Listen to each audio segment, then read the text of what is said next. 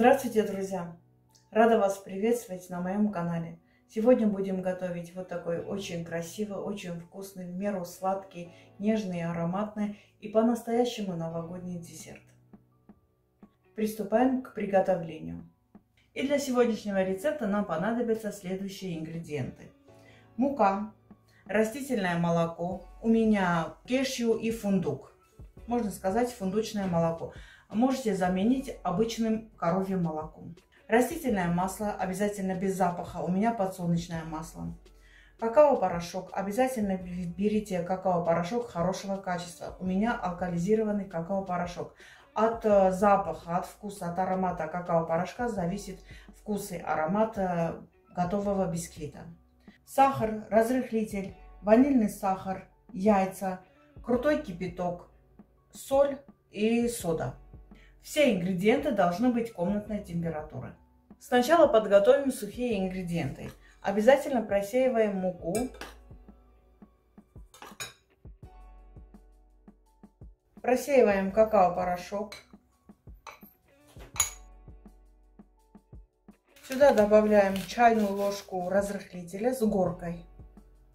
И сюда же добавляем соду. Все хорошо перемешиваем. Полученную смесь просеиваю еще раз.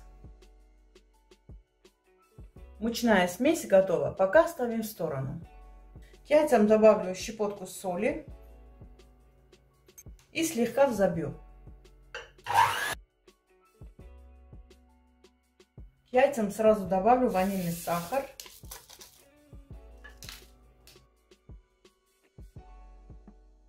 И весь сахар.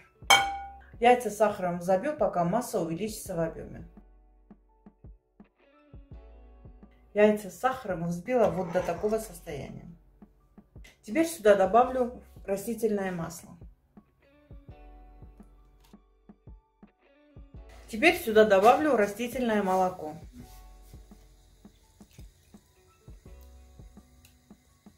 Когда добавляем молоко, долго не взбиваем. Просто слегка перемешиваем. Миксер нам больше не нужен. А теперь потихонечку в жидкую смесь буду вводить мучную смесь. Муку буду вводить частями. Добавляю последнюю порцию муки. У нас должно получиться гладкое однородное тесто без комочков. То есть не промешанной муки в тесте не должно быть.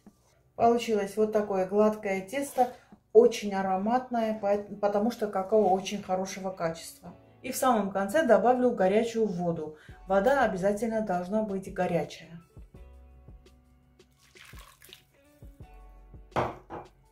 И перемешиваем. Получается вот такое жиденькое тесто. Получилось очень хорошее тесто. Оно глянцевое, ароматное и без комочков. Теперь тесто залью в форму. Дно формы я покрыла пергаментной бумагой. Ничем не смазала бумагу.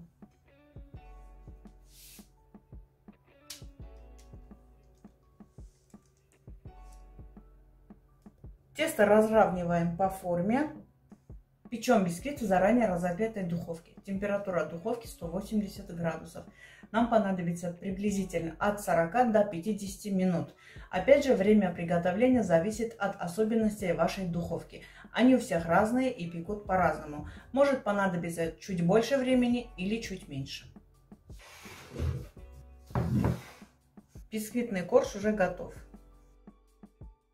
Края бисквита нужно отделить от стенок посуды вот в таком виде оставлю на столе, дам немножко остыть, потом сниму на решетку и оставлю до полного остывания. Бисквит хорошо остыл. Это больше кексовое тесто, нежели бисквитное тесто. Поэтому э, после выпекания или во время выпекания бисквит сверху потрескается. Это нормально. Так получается. Бисквит возвращаем обратно в форму.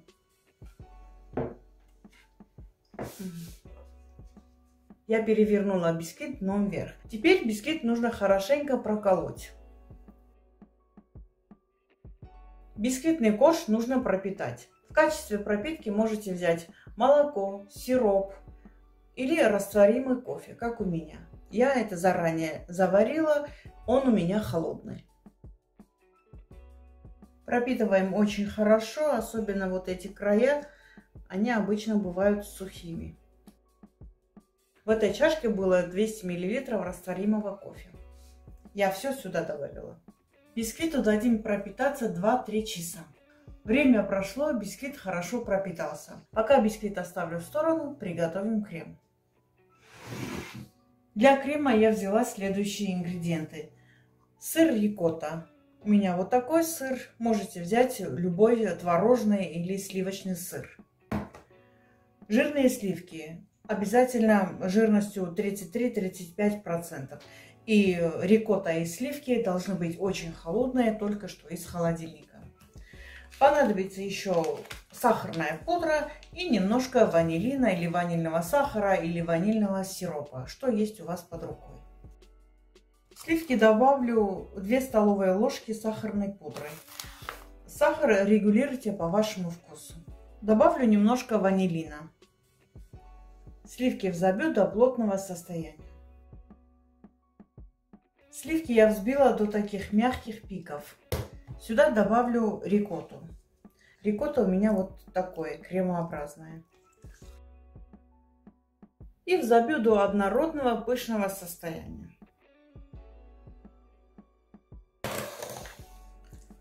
Вот такой замечательный, очень плотный глянцевый крем получился.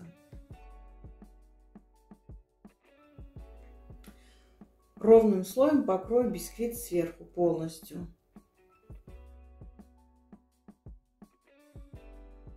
В таком виде поставлю бисквит в холодильник и оставлю там на всю ночь. Торт пролежал в холодильнике около суток. Просто времени не было его пораньше украсить. Для украшения торта я взяла кокосовую стружку и замороженные ягоды. Еще у меня есть растопленный шоколад. Украшу просто по-домашнему.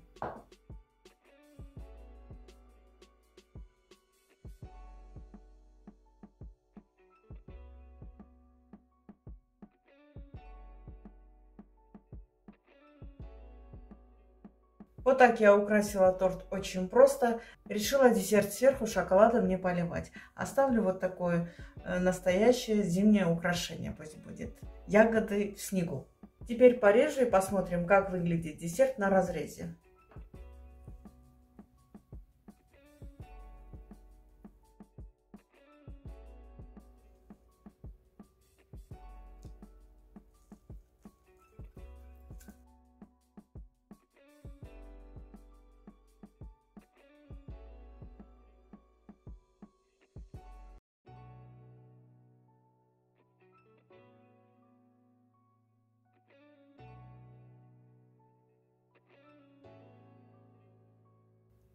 Вот так из самых доступных и простых ингредиентов у меня получился вот такой прекрасный десерт с новогодним настроением. Надеюсь, мой сегодняшний десерт вам тоже понравился. Если понравился, то обязательно ставьте лайки, пишите комментарии, подписывайтесь на мой канал, обязательно нажав на колокольчик, чтобы получить уведомления о моих новых видео. На сегодня у меня все. Как всегда, желаю вам удачного дня, отличного настроения и увидимся в новых видео.